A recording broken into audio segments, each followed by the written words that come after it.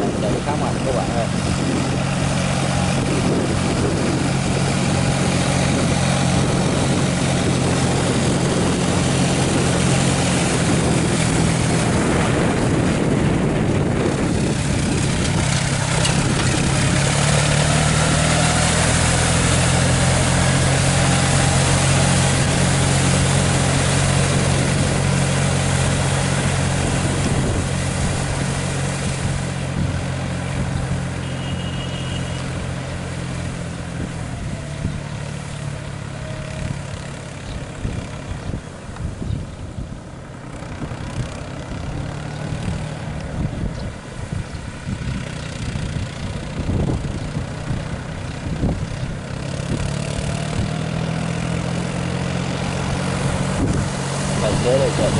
khá là hung mê các bạn sáng ướt gì không